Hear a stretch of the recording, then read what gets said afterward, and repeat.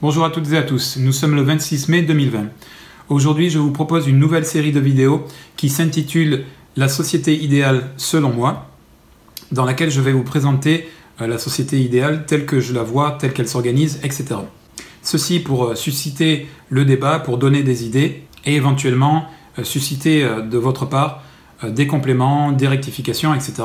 afin que nous discutions autour de ce que doit être une société bien organisée, une société idéale. Donc dans ce premier volet, je vais aborder le terme de la représentation et du processus de comment on vote, on abroge ou on rejette des lois. Mais d'abord et avant tout, il me faut vous rappeler que cette société idéale doit avoir un but clair, bien défini et accepté de tous évidemment, ou en tout cas d'une large majorité, si ce n'est un consensus, pardon. Et ce but doit être l'émancipation de l'humanité, tel que je l'ai expliqué dans, la vidéo en lien ici. Alors, Qu'est-ce que c'est l'émancipation?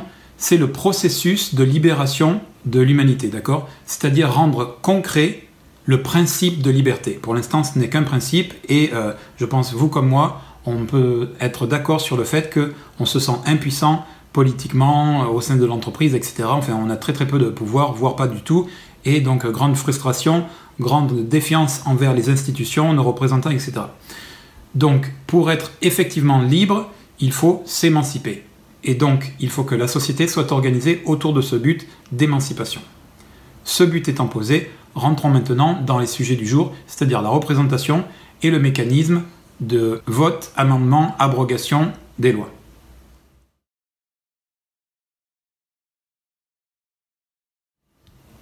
Donc puisque le but de la société c'est de nous émanciper, ça passe nécessairement par la responsabilisation de chacun et donc, si chacun est responsable, c'est-à-dire que le collectif est aussi responsable. Qu'est-ce que j'entends par responsable? C'est notamment par la participation active à la politique. Politique, bien compris, c'est l'organisation de la société. Donc un système dans lequel les citoyens participent directement à la prise de décision publique, c'est-à-dire à la politique, ça s'appelle une démocratie. Donc le premier pas vers cette émancipation, c'est de reconnaître le fait que nous ne sommes pas en démocratie, puisque tout un chacun peut bien s'apercevoir qu'on n'a pas de pouvoir, qu'on est impuissant. Et deuxièmement, que l'organisation, le système de gouvernance qu'il nous faut, c'est donc la démocratie. Ça, c'est le premier pas, le B à bas. Nous ne sommes pas en démocratie et nous voulons une démocratie dans laquelle chaque citoyen peut participer directement s'il le souhaite à l'élaboration des lois, à leurs amendements, à leurs rectifications, euh, leur rejet éventuellement, etc. Mais la participation de tous, permanente à la démocratie, ça c'est un idéal.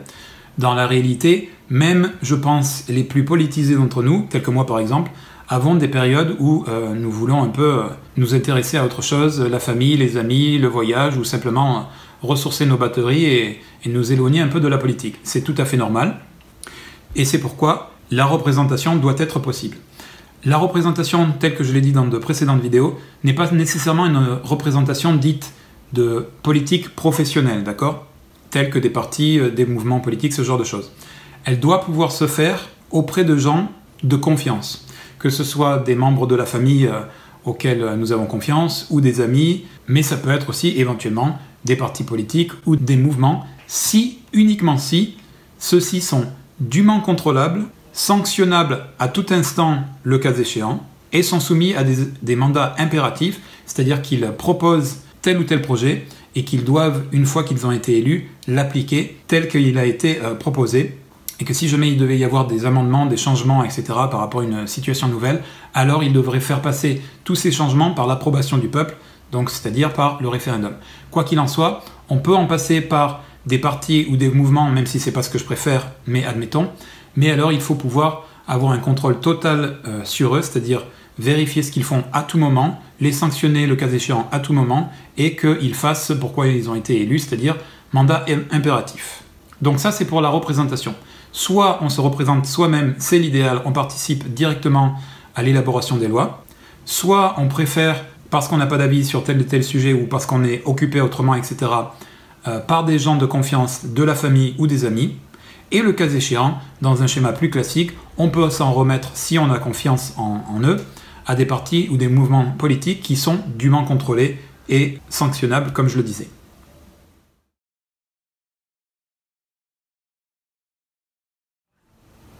Donc maintenant, pour entrer dans la partie plus pratique. Chaque proposition de loi doit être annoncée publiquement dans le détail de façon exhaustive, un minimum de six mois avant son vote. Pour annoncer ces propositions de loi, les autorités passent par euh, les médias gouvernementaux. Donc euh, par exemple France Télévisions, Radio France, les sites officiels gouvernementaux et pourquoi pas une publication journal papier, donc par la presse, toujours sous l'égide des autorités.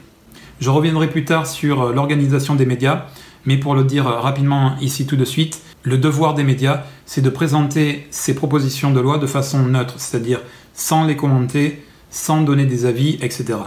Une fois l'annonce faite par communiqué officiel et dans les médias gouvernementaux, des lieux tels que des salles de réunion doivent être mises à la disposition du public partout où il est possible de le faire.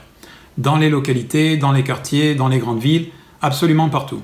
Dans ces lieux de réunion, euh, les Français peuvent se rendre afin de délibérer de cette loi ou de ces différentes lois s'il doit y en avoir plusieurs, mais il faut quand même en garder euh, un nombre raisonnable, je pense que 5 c'est un grand maximum, peut-être même 3 simplement. Et donc euh, tous avons la légitimité de participer au débat autour de ces lois. Soit simplement dans un premier temps pour s'informer, et pour s'informer on peut faire appel à des experts ou des sachants, des connaissants sur les sujets euh, liés à cette loi, que ce soit au niveau national dans des débats télévisés ou que ce soit au niveau local dans des réunions de, villages, etc. Donc pour essayer d'avoir un avis le plus éclairé possible sur les sujets en discussion. Et euh, je rappelle ici que les experts sont là pour donner euh, une analyse, un point de vue d'expert, mais pas un avis personnel. Et euh, le but de la réunion, ce n'est pas de suivre l'avis de, l'expert. D'ailleurs, il faut avoir des experts de différentes analyses pour essayer de voir un peu toutes les facettes, les pour et les contre de chaque proposition de loi et se forger au niveau individuel un avis, un esprit critique, un libre arbitre.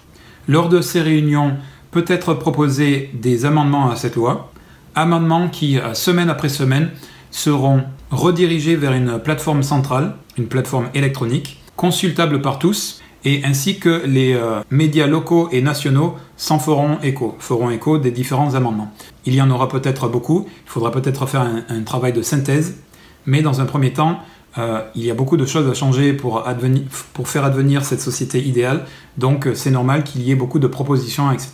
Il y aura peut-être un engouement pour la pratique de la politique. Ce n'est pas quelque chose qui doit être vu comme problématique. Ça doit être géré avec le temps nécessaire parce qu'une réelle démocratie marche dans le temps long. J'oubliais un point. Toutes les réunions doivent être filmées, idéalement euh, retransmises en direct, et en tout cas filmées, enregistrées de sorte qu'elle soit consultable par tous, médias et simples citoyens, à tout moment, afin notamment de s'assurer du bon déroulement de ces réunions et qu'il n'y ait pas euh, de corruption, de tentatives d'influence, etc. dans ces différentes réunions. Mais toutes les réunions locales, nationales, à tous les niveaux, doivent être enregistrées et ces documents vidéo euh, peuvent être retransmis en direct ou en tout cas sont enregistrés de façon à ce qu'ils soient consultables même dix ans après euh, s'il le faut. Ça c'est pour un impératif de transparence. D'ailleurs, je rajoute qu'à ces euh, différents lieux de réunion physiques doivent s'ajouter aussi des réunions virtuelles, telles qu'on le voit, on l'a vu avec le confinement, des réunions Zoom ou Skype ou euh, peu importe le, support, euh, tant que ces réunions sont enregistrées et disponibles par la suite. Mais en tout cas, ça démultiplie les possibilités d'échange. je recommande à ce que ces réunions se fassent dans des dimensions humaines, c'est-à-dire que je pense que un maximum de 10 personnes, c'est vraiment euh, le top de ce qu'on peut faire au niveau du nombre de personnes. Au-delà de ça, ça devient difficile. D'où la nécessité de multiplier les endroits physiques et les endroits virtuels euh, pour discuter. On peut aussi imaginer la création d'une sorte de Facebook euh, national, développé en France par des Français, hébergé sur des serveurs fabriqués en France et hébergés en France avec peut-être des systèmes de, cryptage, etc., développés en France uniquement pour la France, réseau sur lequel on peut aussi continuer euh, ces différentes discussions autour des projets de loi. Donc, je le redis, le minimum de discussion, de délibération autour de ces lois est de 6 mois, ça peut être plus long, mais je pense qu'un 6 mois, c'est vraiment le, minimum pour que les gens puissent se faire un avis, etc. Et donc, au bout de 6 mois de délibération, un vote ultime est proposé, même si on peut voter euh, tout au long de ces délibérations. Vote qui doit se faire en physique, c'est-à-dire que peut-être juxtaposé à ces, salles de réunion, pardon, il y aurait donc des bureaux de vote dans le processus classique. Et donc euh, chacun pourrait voter pour la proposition en, tant que telle, pour la proposition amendée avec euh, les différents amendements proposés, ou alors pour euh, rejeter cette proposition de loi. Si aucune majorité se dégage, c'est-à-dire une majorité pour, une majorité contre ou une, une majorité d'abstention, alors la proposition de loi est ajournée pour laisser plus de temps à la délibération ou alors à la, la reformulation pardon, de cette proposition de loi.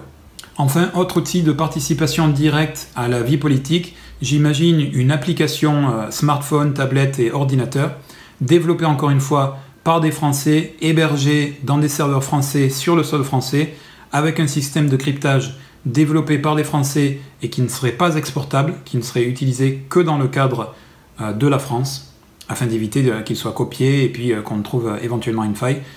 Euh, ce n'est peut-être pas 100% garanti. Je ne sais pas si euh, les systèmes de blockchain, etc., peuvent permettre l'existence d'une telle euh, application sécurisée dûment. Mais si c'est le cas, alors je suis pour la création d'une telle application qui permettrait donc de voir sur son appareil les propositions de loi, les différents, amendements qui sont proposés au fur et à mesure de toutes ces réunions, et de voter pour ces différents amendements ou la, la loi en, telle qu'elle ou de la rejeter, etc. depuis son application.